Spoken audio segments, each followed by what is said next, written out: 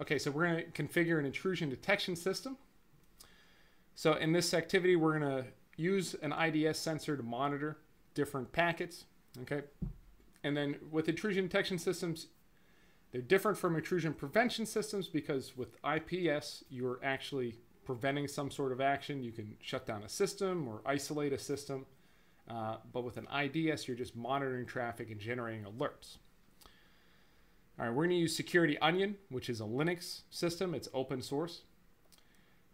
And security, if you learn Security Onion, you're going to have a good foundation for learning a lot of different IDS. So it's a really good one to start with, I think. And it's also open source. So if you get to an organization that doesn't have an IDS, which there are lots of them, uh, you can you can incorporate Security Onion and you'll know how to do it. Okay, uh, and Security Onion also includes Snort, which is a really useful um, I mean, Snort is the IDS that we're using here. Okay. So let's see. The IDS sensor has already been configured for you. The Ethernet 1 interface on RT Local is configured as the source port for monitor. And then Ethernet 1 interface on SEM1 is also connected to the VISP switch. It's the destination port. This interface has no IP address. It is used for monitoring sensor only. Let's take a look at this network diagram. Okay, this is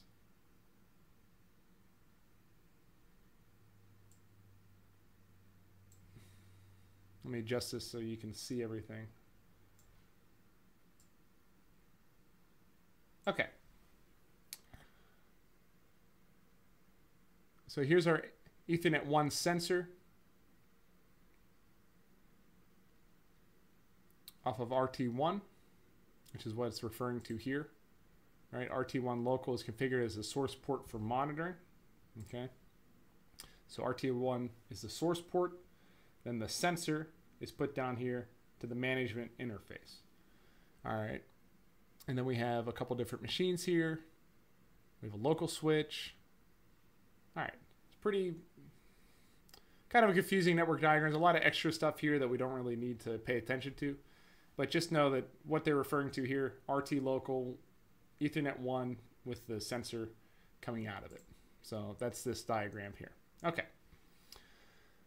And then SEM1's ETH0 interface is connected to the V local switch.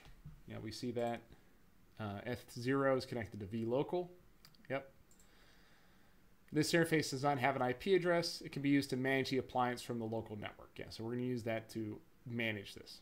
All right, and then this is the lab topology. And PT1 Kali, the Kali VM is located on a remote network, which is representing the internet. So basically, the Kali machine is going to represent any external traffic or malicious activity. All right, and then uh, packets directed to virtual machines on the local VLAN are routed to RT3, RT2, RT3 and RT2, and RT1 local. Okay, so any packets are routed. Um, okay, so here's the Linux. Here's the Kali Linux. These are going to be routed to RT3, or they could be routed to RT2 and then the local. Got it. Any questions on all that? Know it's a little confusing. You don't need to understand that to do the lab. And sometimes the people who write these labs, you know, they these are very uh, knowledgeable individuals who are writing the lab to explain it, but they're not explaining it the best terms. Okay, they're just explaining it to the best of their abilities. You don't necessarily need to understand what they're talking about to go through the steps and learn how to configure an IDS. So, anyway, all right. So we have lots of different machines on here. I think we're just probably using SEM and SEM1 and Kali. So let's see how that goes. Let's go through. We're going to browse through the IDS tool here. We've logged on to SEM. Let's use uh, Sguil here.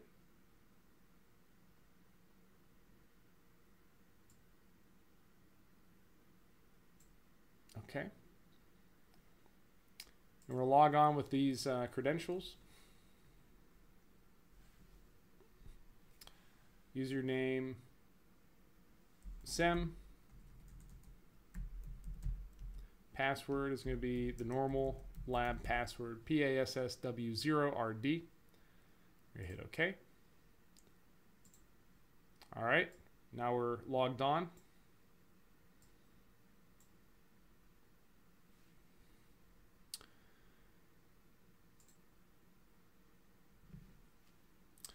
Okay, we're going to ch check here SEM1 F1 or SEM F1. And we're only going to check that and then we're going to start Sguil. Okay, here we go. So here we have this connected to our local host. And we already have a number of alerts generated by, by this device. We got possible event message, a Trojan, uh, possible SSH scan, a couple Trojans. It's not what you want to see when you open up your IDS. Anyway. All right, let's take a look at our uh, Kali Linux machine. Log on to that, root and password.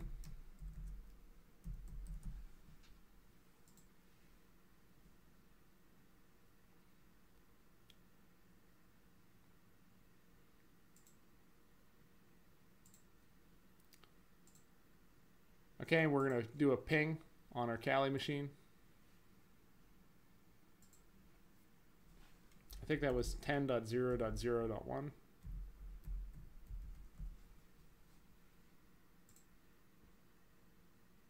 Ah, well, we need a, a flag here. Ping 10.0. no, 10.1.0.1. 10.1.0.1 dash C10. Okay. And we're getting a ping there. And we're just pinging it 10 times here. That's what the C10, it's the count 10, okay? All we're doing is we're telling it to ping 10 times. Okay, so that ping worked. All we did was the ping just to show, and then we're to see those pings here in real time. You can also, you can filter these, you know, this is basically like a spreadsheet. You can filter these however you like, okay? So we can, you know, filter these to see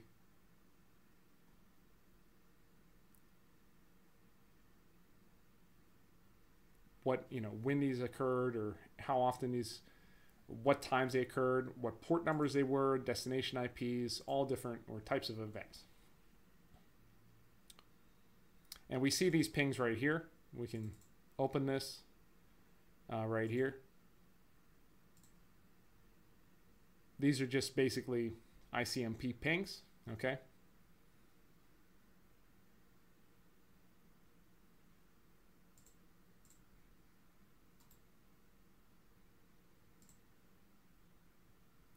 The count over here on the left, you see CNT. Count is 10. It means this event happened 10 times in a very short amount of time.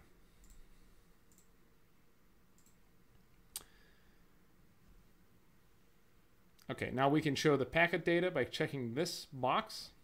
And here we see the packets themselves, okay? And these are basic packets. These are ICMP packets. We can also do show rule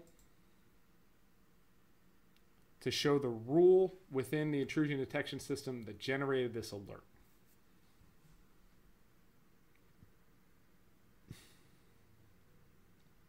Now it wants us to record the rule SID. You're going to have to click down to find that, okay?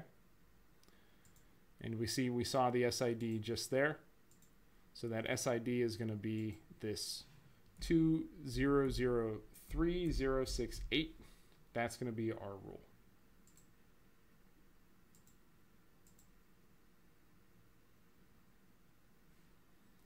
We can also uh, resize this whole thing if we like.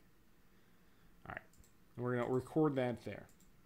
There should be a spot to submit this, but there isn't. Okay. So now we're going to since we, you know, this is a basic alert, we can take a look at some of the other alerts that are on here. Like here's a Trojan that was downloaded. You know, if we uncheck this, we're not going to see any of this information here. So you probably want to have this checked as default. We can see where this occurred, what port this occurred on, and then we could see the event message.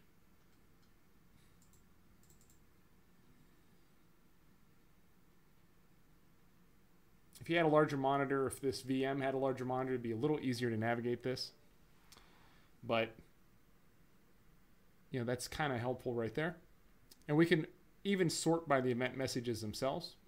Okay, now a lot of these are going to be different, but some of these are going to be very similar. So they're going to group them into similar, uh, similar groups here. Or we can do date and time, ascending or descending for all of these. And these are all the dates. You see how the dates are a little off. You know, it has historic events already stored in from 2020, and then you know we have our 2023 event right here. Okay, so let's configure a rule. Uh, enough uh, messing around. Though I do invite you to mess to play around with these labs if you have these labs. Um, go outside the boundaries of just what it tells you. The goal of the lab is to help you understand these these concepts. Okay, so let's go ahead and configure SCAL to auto-categorize different events. We're going to disable a rule that alerts on ICMP matches. So on SEM1, which we're on right now, uh, we're on SEM1, right? Okay. We're going to go ahead and open open the terminal.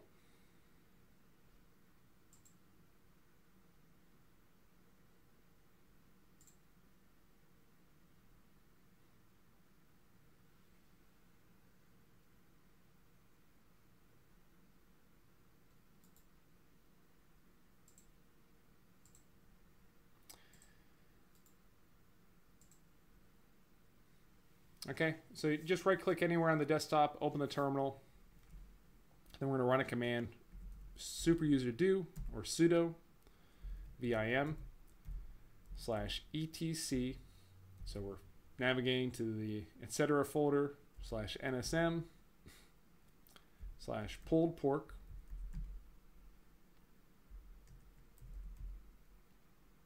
slash disable sid dot config period and then we're going to go ahead and hit enter. It's going to ask us for the super user do password which is the default lab password. And then it's going to give us a success here okay?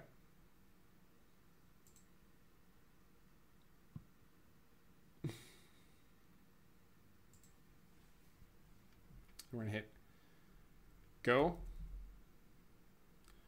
That navigates us to the end of the file and puts us into insert mode. Okay. And we're going to type in 1 colon 2003068. Now that's the SID of the alert that we had identified previously for ICMP pings. Okay.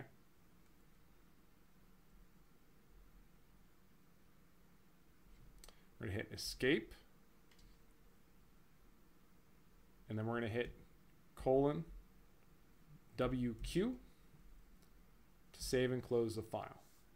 So essentially what we've done, we've edited this file, located, we've edited disable sid.config, okay? We've entered one as the value for this ID. Remember that ID corresponded to the SID of the ICMP ping uh, alert. Okay, here's the ICMP alert. That's the SID ping. All right.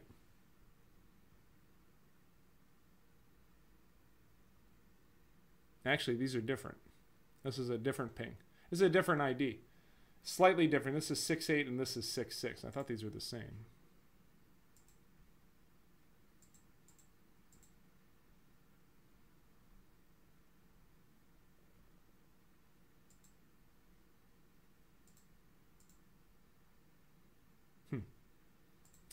Okay. Though I think this is still going to work here. Okay, so so we modified that file and then we saved it, okay, with W quick to save and close the file. So we should be set there. right, so let's go ahead and go back to our Kali machine and then ping this ping our uh, virtual machine again. 10.1.0.1 count four. We're going to do this four times. One, two, three, four. Done. Then we're going to switch back to the SEM. We're going to check our console.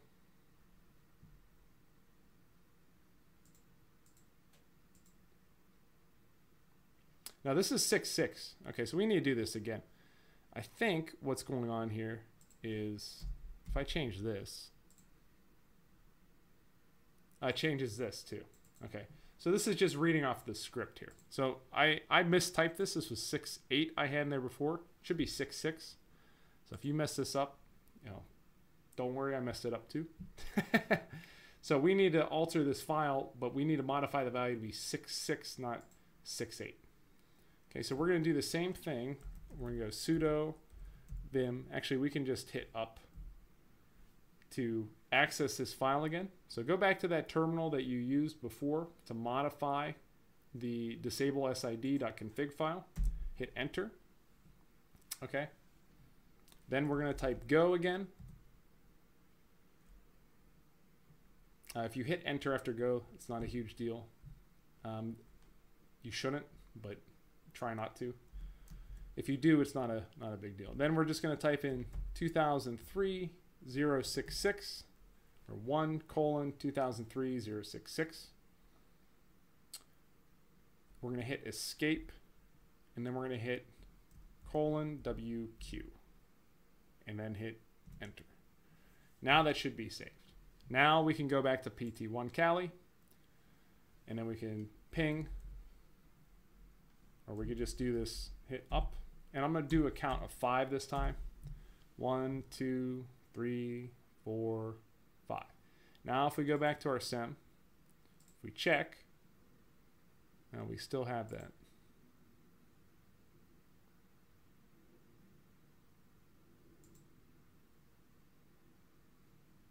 The count's still going up, so something's going on here. We're not really configuring this correctly.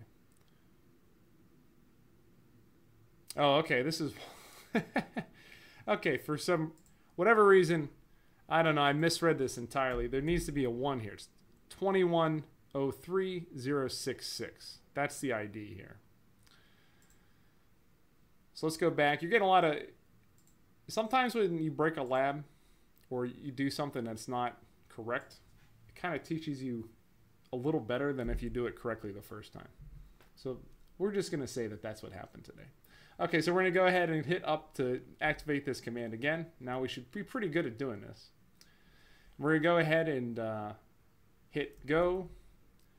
All go does is moves your cursor to the end of this file. Okay, so I can, if I hit go, moves our cursor to the end of the file. Actually, I'm going to do that over again. Because uh, I'm in insert mode right now, so I'm just going to quit out of this. But if I'm here, if I just in, input, if I've just gone into the file, I could just type go, moves my cursor down. You see how my cursor jumped?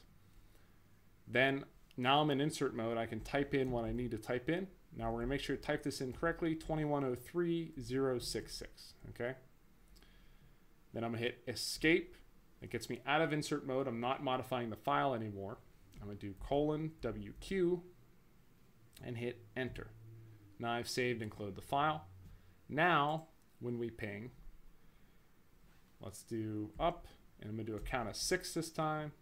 let's make it seven. Seven. Seven pings. We go back to our SEM1. Now if we check, nope, still working.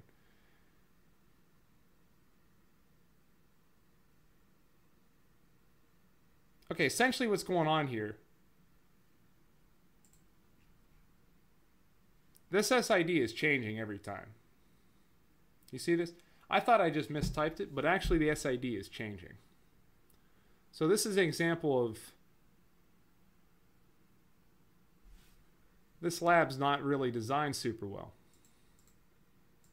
Because if if we, are basically we're, we're modifying the file correctly, to block different SID. So how we're doing this is we're blocking it based off the SID.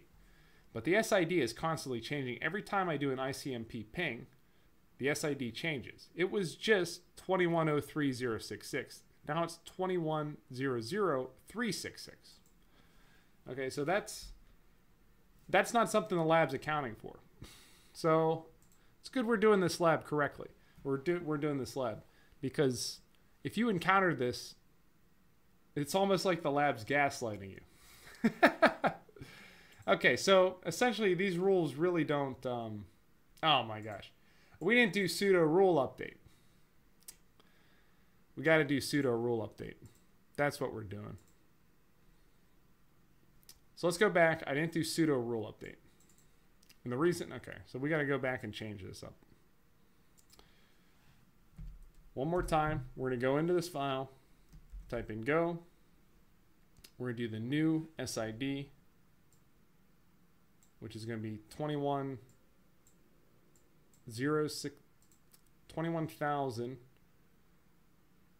366. Okay.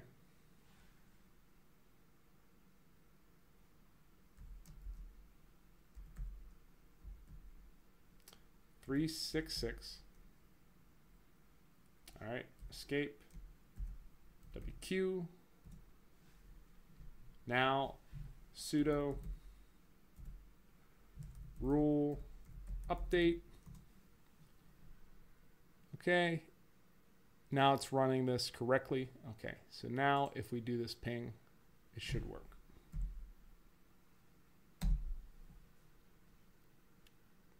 Ran our ping. Let's go back. Okay. Now the ping has been working correctly. So yeah, this has been changing each time, but jokes on me, I never ran the rule update, run sudo rule update to apply the change. So because of that, we never did the uh, update. We never updated the rule. You know, we just changed the file. We didn't apply the file to the IDS. Okay. But by doing that multiple times, now you know how to update that rule pretty well. And you could do this for any one of these rules. Now, if you can update a rule by modifying the file using uh, a terminal window like this, then you're set to modify rules on more advanced IDS or more user-friendly IDSs that have a graphical interface. A lot of these IDSs are going to have a graphical interface. You can modify the rules. You can uh, change the rules in you know by clicking a few buttons, not by having to modify a text file. And we could do things like that with you know most of these. But if you know how to modify rules in this old way or this uh, very technical way, then you're pretty good. You'll be set to modify and easier to configure IDS. Okay, so what which of the following best describes the purpose of editing the etc nsm pulled pork disable SID configuration file? Uh, and basically to disable connection logging based on a specific SID. Or disable a rule that identifies ping packets based on the specific SID. Any ideas? Any ideas on which one you guys want to pick?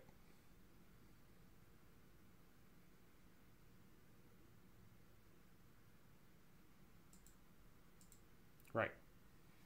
So we've disabled ICMP pings from uh, from triggering the alerts, and that's based off that specific SID, which kept changing on us because we never updated the rule itself. Okay, so very good. Now, once we've run this rule update, we've applied basically every rule that we put into this uh, pulled pork disabled SID, or the disable SID not config file. Okay, wonderful. Okay. Let's go ahead and, and do some pen testing or simulate pen testing. So we're going to run some intrusive pen tests from PT1 Kali.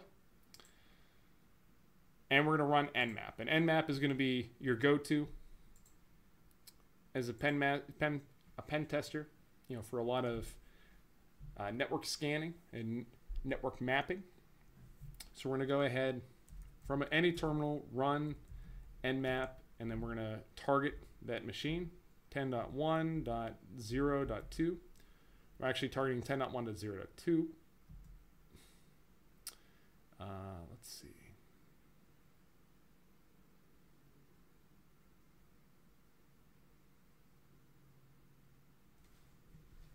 Shouldn't this be one?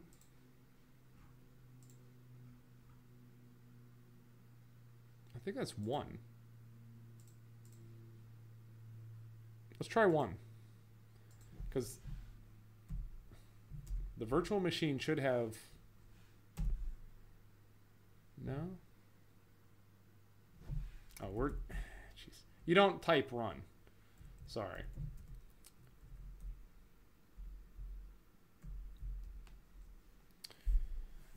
Just type nmap.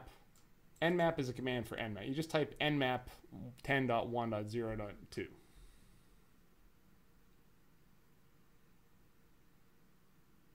So it's starting nmap ms working correctly. Sometimes I get into autopilot I just start reading the commands. But really, this shouldn't say, it should say type nmap 10.1.0.2. I can see a lot of people getting confused with this because it's the same font too. But all you do, the command for nmap is nmap. And then we can add flags to that. Uh, so you would just do nmap 10.1.0.2. Now, if it's 10.1.0.2, what is that? I think that might be DC1. Because it's not...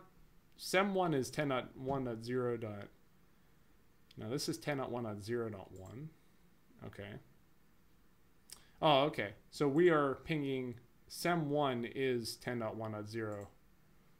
Let's take a look.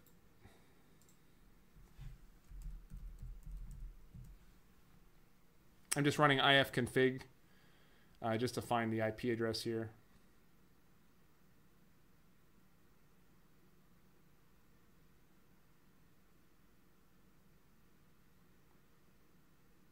Now let's see what MS1 is.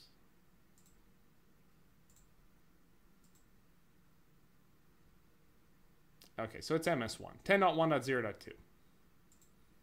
That's MS1. So we're pinging MS1 from the PT Kali machine. It doesn't tell you that in the instructions.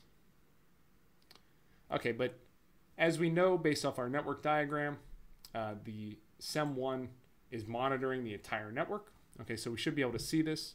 So if we go to Sguil, we should see a new alert now. And here we go. Scan. Potential VNC scan. I hope be nice if we can expand this a little more.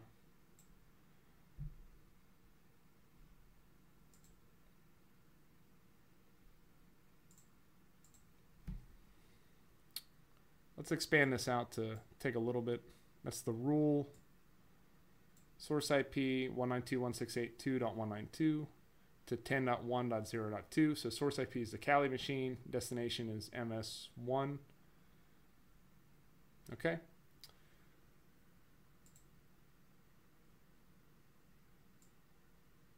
All right, now we're going to command. We're going to do this entire string of commands here. Make sure to try and type this correctly. I know you can't copy and paste the text like you would in the Windows machines. So hping3 with a flag uh, dash C of 1000, flag dash D of 120, a flag dash capital S dash W 64 dash P port 80 so P80 double dash flood. Double dash rand dash source. Source is 10.1.0.2 10.1.0.2 okay. We're going to go ahead and hit enter. Okay, so we're basically flooding. Uh, we're doing a flood attack. And we're going to set the, tor- uh, the source address as uh, MS1, 10.1.0.2. Okay. Now let's take a look at our, we'll let this go for a little while. We can hit Control C to stop it. Okay. So what type of attack is, are we doing here? Now, if we're doing a flood attack, okay, we're going to be targeting availability. So it's going to be a denial of service. Remember, a flood is designed to overload a system, overload a server, prevent that server from providing normal access. So let's go ahead and see what that alert looks like in our SIEM. Okay, and here you can see the SIEM's going a little nuts. Uh, may have let that run a little too long. This is actually kind of fun with this thing. There's a lot of alerts. Okay. All right, there we go. So all of these different alerts.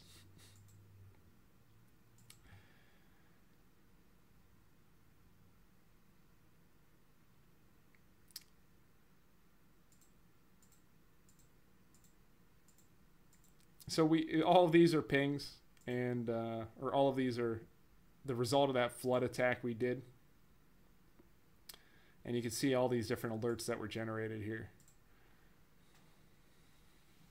We're using the HP Ping 3 tool to do this. Okay.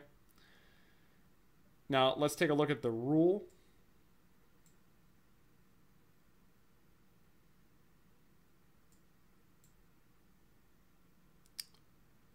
Spamhaus drop, listen traffic inbound, uh, and this is basically due to this rule here. This isn't going to work, this link. This shouldn't be up.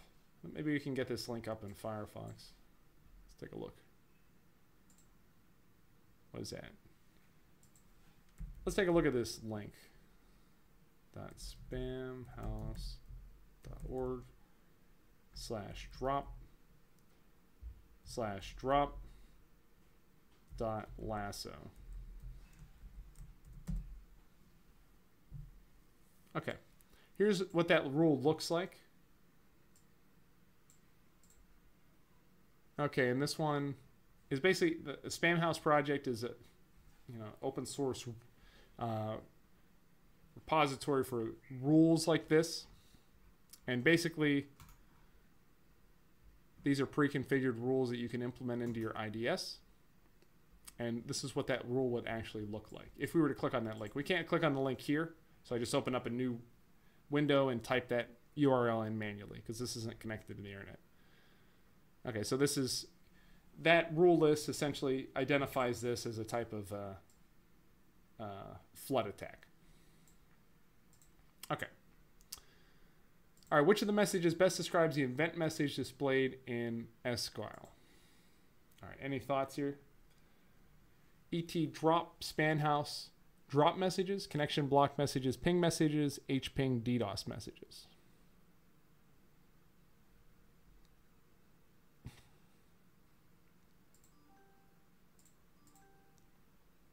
Thank you. Thank you, Lab.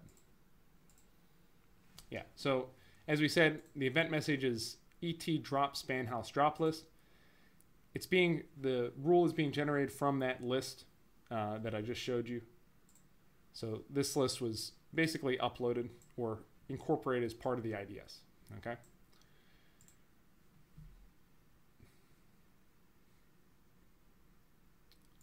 All right, wonderful. And if you want to explore, you can go to, you want to explore, you know, Spamhaus and what, what they're about.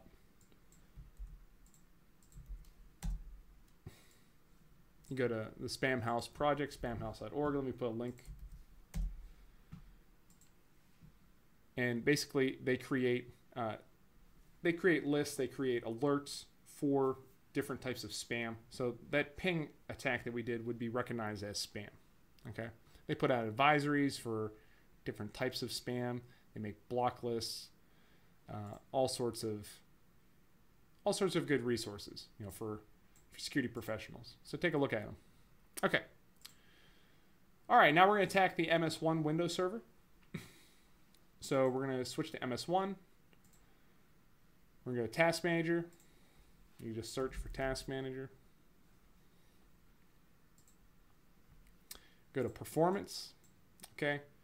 And we're just going to look at our performance here, the Ethernet tab. We don't see any Ethernet traffic. You know, if we We can generate some traffic, I think. wonder if this is configured in this lab.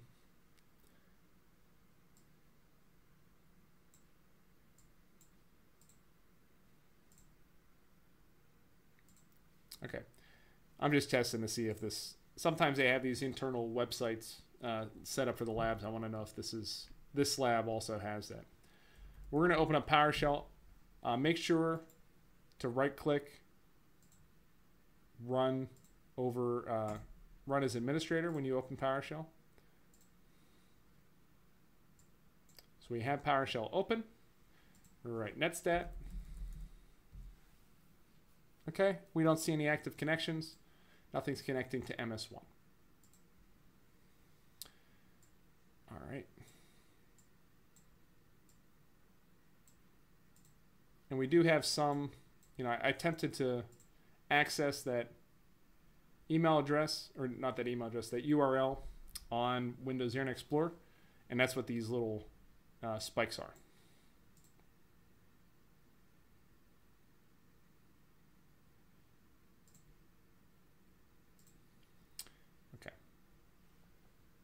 All right, it wants us to organize the task managers on top with network performance displayed. We'll just switch back and forth.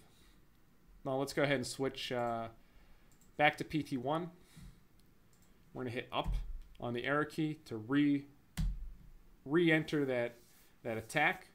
Let's go back to MS1 and take a look at what's going on.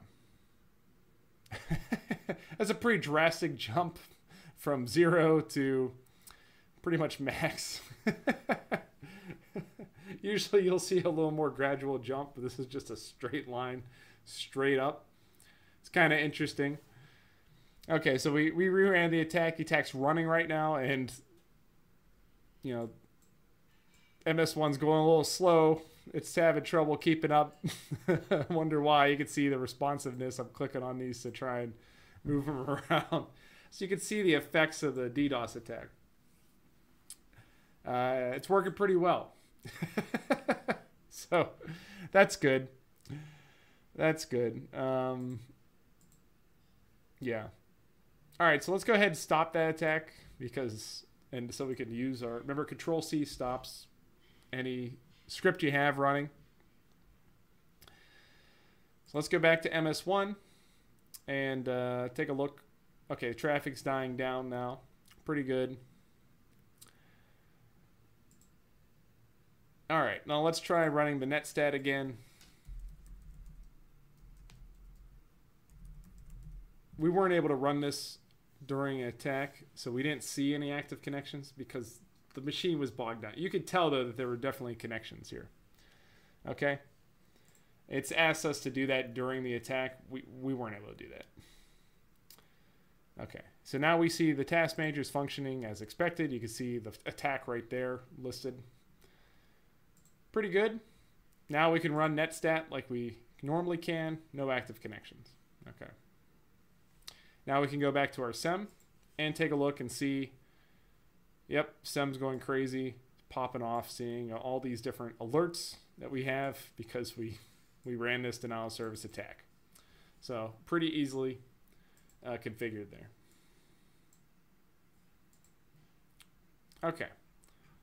So we see all these different types of attacks there. All the attack from the the HPing 3. Now, this question is interesting. Why are the source IP addresses all different in Sguil if the attack originates from PT1 Kali at 192.168.2.192? Good question. Any any ideas? So we know that the PT1 Kali has that IP address, okay? That IP address on 192.168.2.192. If we go to PT1 Kali and we just run an ifconfig, we'll see that. Okay, 192.168.2.192. Just like when we ran the ifconfig on the SIEM, we saw the IP address here. Okay. So why are the source IP addresses here from that H3 HPing 3 attack uh, different? Good question. Any ideas on which one would be correct? Various source IP addresses are not participating in the attack. The HPing 3 utility randomizes and spoofs the source IP addresses based on the random source parameter. The PT1 Kali VM is taking control of the computers at those IP addresses. Computers at those IP addresses are pre-configured to participate in HPing 3 DDoS attacks for educational purposes. So the HPing 3 utility is very easily able to spoof IP addresses. And it's uh, pretty simple to do. Okay? So let's take a look at the commands we used here. hping3 count 1000 uh, random source. Okay? So we have random source as the source IP. We could specify an IP source or we can hit random source like this with this double dash. Now that's what's going to determine or tell hping3 to generate random IP addresses as the sources. And this is our target, 10.1.0.2.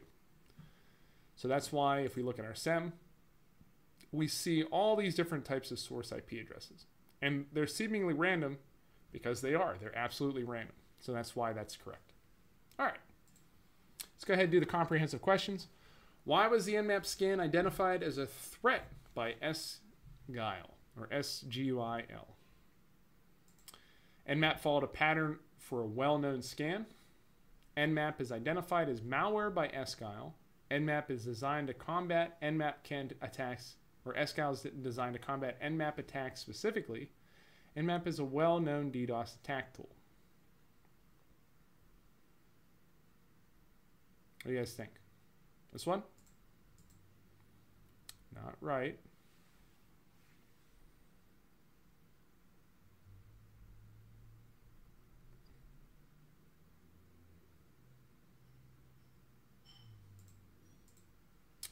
Yeah, it followed a pattern for well-known scan. Okay, and all we did with Nmap is we just did a basic, uh, a basic Nmap scan to begin with. Remember, we just did Nmap 10.1.0.2. Okay. So that's the most common scan you could do. We didn't put any flags in there. We didn't have any altering parameters. We didn't make it a sneaky scan at all. We just did a regular scan. So it followed that pattern as a well-known scan. And the IDS was able to pick up on that. All right, why might it be useful to set a rule that ignores ICMP ping network traffic? ICMP and ping are essential network troubleshooting utilities. Active Directory relies on ICMP to communicate with client computers. ICMP packets carry essential network traffic, where ICMP and pings are used by client computers to discover DNS servers. Any thoughts? Okay. Yeah, very good. Yeah, ICMP and ping. Remember, a lot of times these labs we are just doing a basic ping, or an ICMP ping, we're just using that to diagnose if a connection is successful that's often used by systems administrators to just check that a, a uh, network connection is working. So you might want to ignore that rule or just set it as low priority um, within your your SIEM. It's not. It. I don't think it would necessarily hurt. You can uh, set the priority level for that ICMP ping, and you can just you know basically ignore it. But if you have a large network, you might want to consider disabling that entirely as a, as an alert because there's nothing inherently malicious you can do with just an ICMP ping. Okay, so great job. Hope this was helpful, and if you have any questions, please you know uh, leave a chat or info at cyberkrafttraining.com. I'd be happy to answer any questions you have.